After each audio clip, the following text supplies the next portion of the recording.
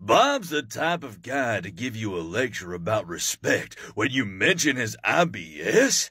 Well, I mean, yeah, you're making fun of my condition. I'm gonna say something. Bob's the kind of guy who'd have a prosthetic finger because he ate the old one. Uh, yeah, that kind of makes sense.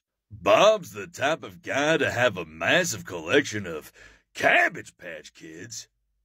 Okay, now that's just wrong. Bob's the kind of guy to give you a wet willy when you mention he's homeless.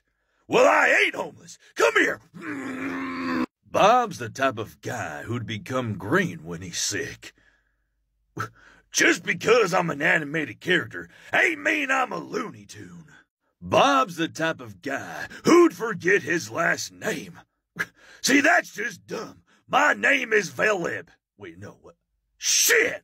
Bob's the type of guy who'd say, Looks like we got company when police arrive at his doorstep. See, that's a good one because the police have never made it to my doorstep. Bob's the kind of guy to snore louder than a chainsaw. Yeah, the doc said I have sleep apnea or whatever. Bob's the kind of guy who turn into an ice block when he falls into cold water. You, what the hell is this? A Disney movie? This ain't Frozen.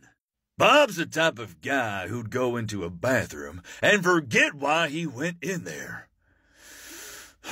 Yeah, I can say that I've uh, lost focus after being on my phone for 30 minutes while sitting on the toilet. Bob's the type of guy to remind the teacher about the homework. I would never stoop that low. Those people sicken me.